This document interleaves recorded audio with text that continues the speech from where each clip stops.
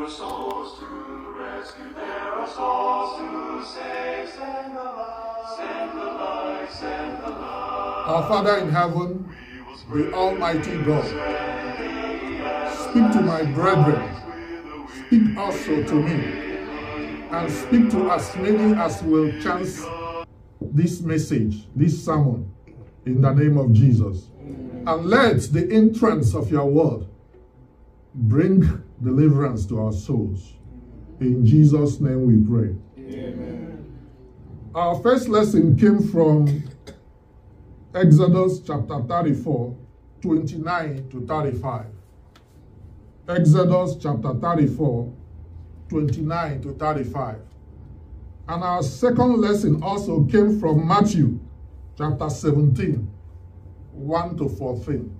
Amen? Amen. If you bring the two verses together, all you are seeing that is similar to both of them is a time of shining.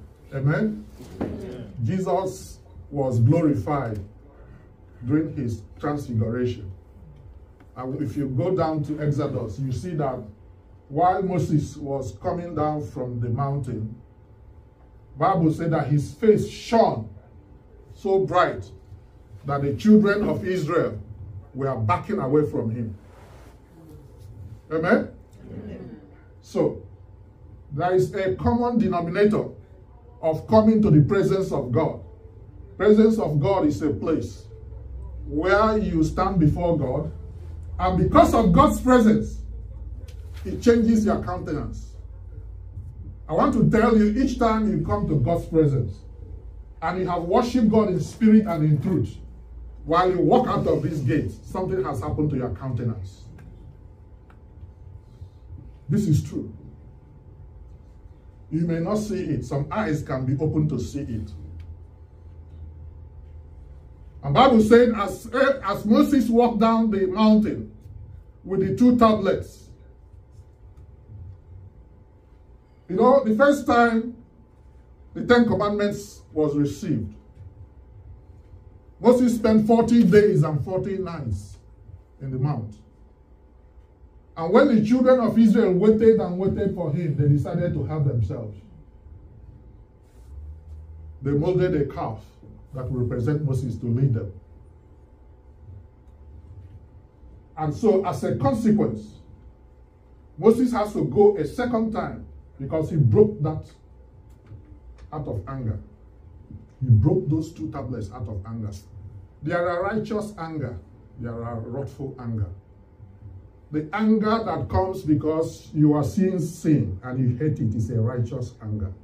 So when Moses broke those two tablets out of anger, it was a righteous anger. God never said anything about that. And what did he do? He took the calf, grinded it, mixed it with water, and made sure all of them drank it.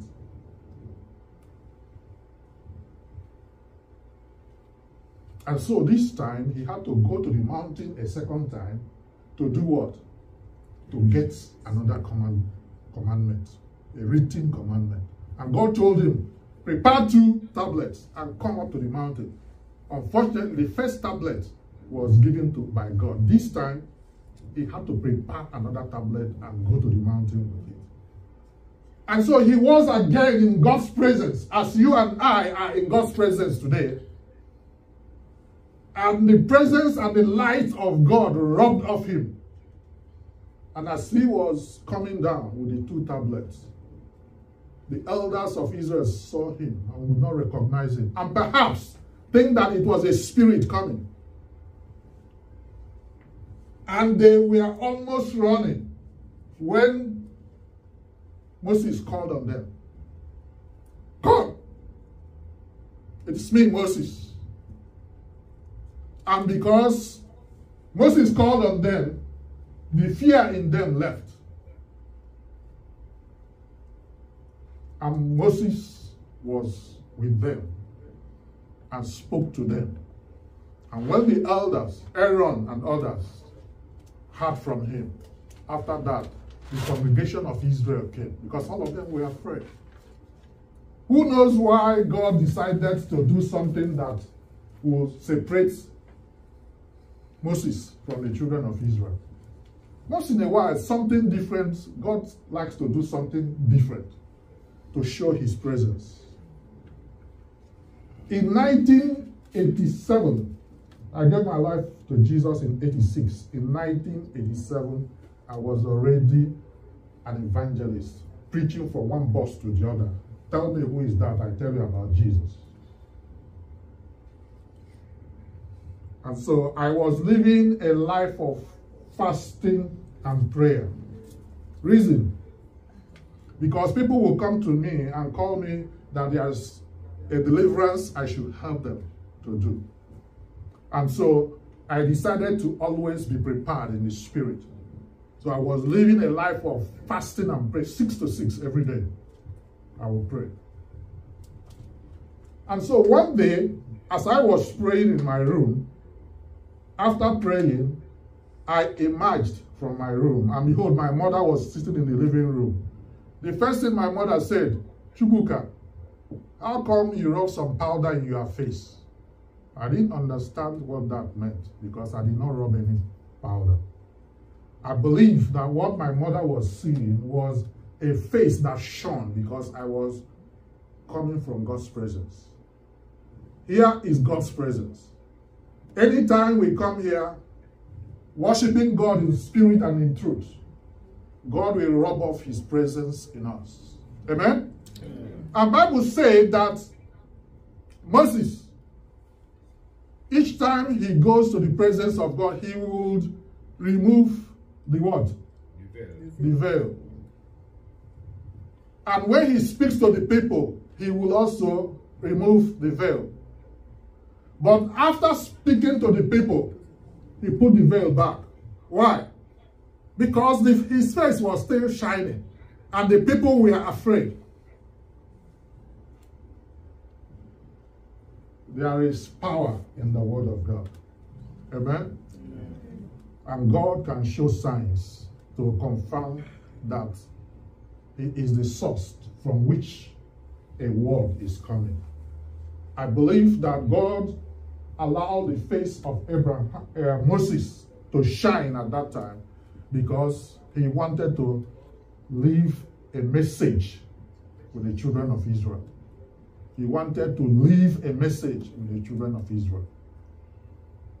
And so, again, from there, we saw Jesus chosen in the New Testament to go to the mount with four of them and while they were at the mount, behold, there was Moses and Elijah. And there, Bible said Jesus was transfigured and shined like sun. You know, when you approach the presence of God, it's brighter than sun, yet it is not consuming. Amen? Our Lord Jesus was transfigured and shone like sun. And seeing this, Peter and other two other apostles could not withhold it. And Peter started speaking what he doesn't understand. Lord, if it is possible, let us build three tabernacles here. One for you, one for Moses, and one for Elijah. Hardly had he finished speaking that, God spoke to correct him. Amen? God said, This is my beloved son in whom I am well pleased. When they heard that voice, they all were slain. They fell on the floor, on the ground. They were slain in the spirit. The mountain is a place of revelation. Every Sunday, when you come to church, you are going to the mountain. And as you are in the mountain, be quiet and allow your heart to be focused on the Lord so that you receive a revelation. Revelation are meant for just the children, not for any other person. Many people may come to the mountain and go back without receiving from God. If I were you on Sundays, I'll take a fast because I want to receive. Church is a special place. It's a place where you receive from God. As you sing, as you sing the hymns and worship and praise, Allow your heart to be transported into the third heavens where you can receive. Do not be here when we are singing, when the choruses are going on, when the piano and the melodies are trying to transform us. Let us go up to the mountain with Jesus, where we can see the heavenly things. The apostles saw the heavenly things. They saw Elijah, they saw Moses. Yes, if you look at what happened, Peter, James, and John were able to stand the glory of God, which was seen in Christ. Bible says somewhere in Second Corinthians chapter 3 verse 18. Let's go there.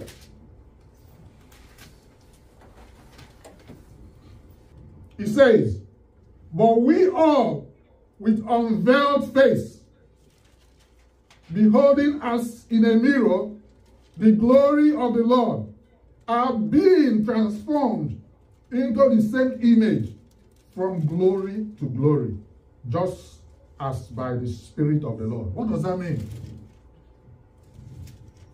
What does that mean? But we all,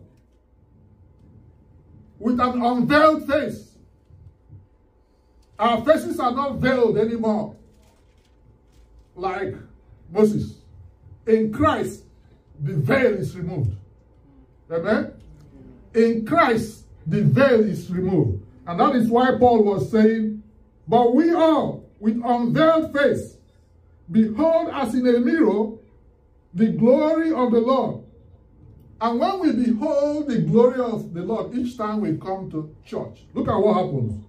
We are being transformed into the same image from glory to glory, and just by the Spirit of the Lord.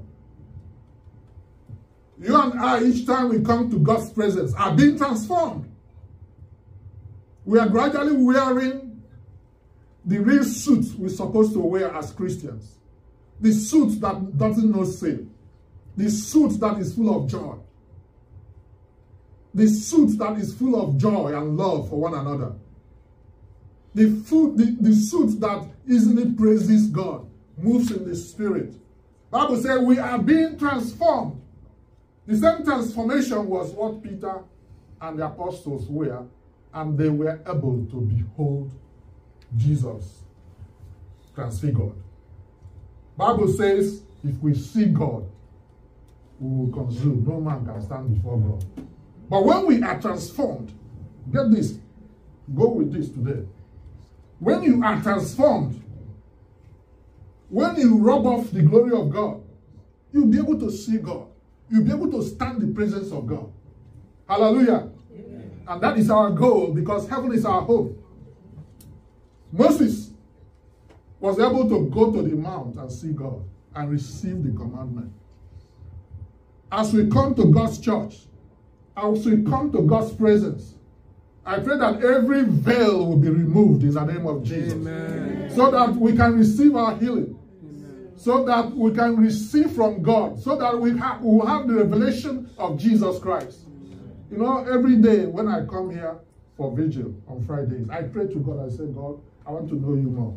Reveal your word to me. Look into me and show me things in me that you don't like. That was why I sent us to that prayer we prayed during ministry. Reveal in me, O Lord, the things in me that are hidden, which I'm cherishing and protecting. That could be pride. That could be disobedience. I said, Lord, reveal them to me. That could be inability to pray. Wake up in the morning and take some time and pray. And tell God, I love you. And I kiss towards heaven for you, Lord. You are precious in my sight. You are the Lord of my life. Without you, I'll be going to hell. I thank God for today. I thank God for today, which God is promising to remove any, any veil that is hindering us. Bible says that our veil is supposed to be removed. According to what we read in Second Corinthians chapter 3, verse 8, 18. With unveiled face, we behold God as in a mirror. Glory of the Lord. And being transformed. But I pray for the transformation of your children. That they will open their mouths to sing and burst into tongue. You may ask me, Reverend, at times you speak in tongue. What does it mean? One day I'm going to teach on it. Tongue is a heavenly language. And angels don't understand it.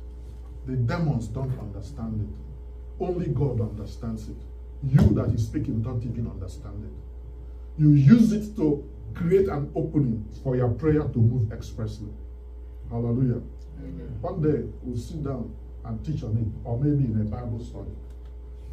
Amen? Amen. Oh Lord, thank you for today. Thank you for your blessing. Thank you for your word. Teach us, O oh Lord, to come to your presence prepared and every veil in our hearts removed. In Jesus' name we pray. Amen.